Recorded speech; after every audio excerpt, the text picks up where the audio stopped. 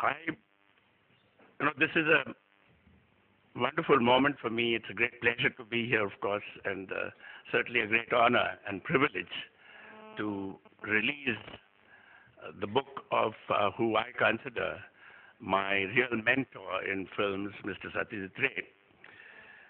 Although it was never formal, but the fact is that I learned more about cinema from him than anybody else. What I would like to do actually is instead of delivering a, a kind of long, very formal kind of talk, I would like to make several kinds of statements and take my own positions, not only regarding the cinema, but also about how films have been functioning in our country and then certainly what is happening on the contemporary scene, particularly in terms of the vanguard of filmmaking in our country. Uh, let me just start off. You know, recently I came across a very interesting uh, uh, quotation of, Herbert Simon. He, he was a Nobel Prize winner in economics. I don't remember which year, but he said something quite interesting. He said, in recorded history, there have been perhaps three pulses of change powerful enough to alter men in basic ways. First, of course, was the introduction of agriculture. Then the second one was with the Industrial Revolution. And the third, of course, was the revolution in information processing, which is the present.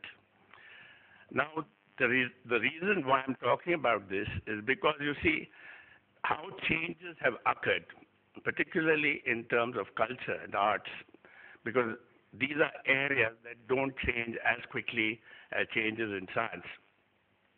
Now, as far as uh, India is concerned, if I were to look at the effects of the Industrial Revolution, they started really in the early 19th century when you suddenly had certain kinds of ideas that had come out of the Industrial Revolution ideas of the Enlightenment project, because the Enlightenment project really, people, thinkers like Rousseau, Voltaire, and so on, had come up with certain kinds of ideas, and then you had the idea of equality, you know, fraternity, these kind of ideas that emerged, and also human rights the other one that emerged, which really changed the Western world in a very dramatic sort of way because it caused two revolutions to take place in the late 18th century in Europe and America.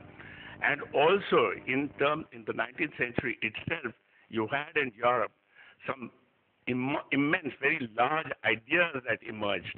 You know, Marxism, for instance, Nietzsche's work, and then, of course, you had even fascism in some ways emerged around that time in, in terms of people's thinking about changing society in many, you know, almost radical ways. Now, all this kind of thinking, to some extent, was always also seeping into the colonies of Western nations and India too. This happened in India.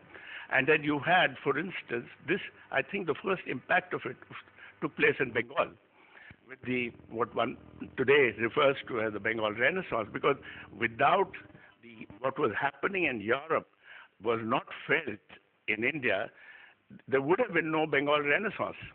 And the Bengal Renaissance itself, you know, the emergence of the Bengal Renaissance actually brought in a great number of social thinkers. You had the Rammohun Roy and so on. But eventually it led to one you know, in the arts, it led to what I consider the first Renaissance person in Bengali culture. That was uh, that was Rabindranath Tagore. Now, Rabindranath Tagore, who was, born in the 19th century, latter part of the 19th century, it's his 150th birth anniversary year this year. He was the first one, was the first Renaissance man, and for me, the last of that lot actually is Satyajit Ray.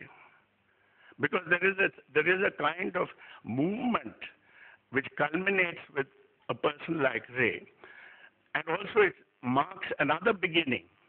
Because like with Tagore, Tagore in terms of the arts was the very first modernist in India.